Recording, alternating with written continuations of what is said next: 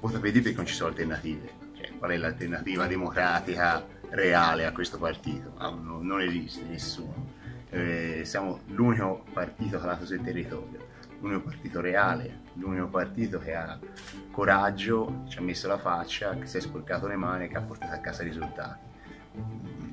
Oggettivamente non c'è alternativa perché votare, votare altri che, che, urlano, noi non abbiamo mai urlato, non l'abbiamo fatto. Non c'è alternativa, vota PD perché vota PD.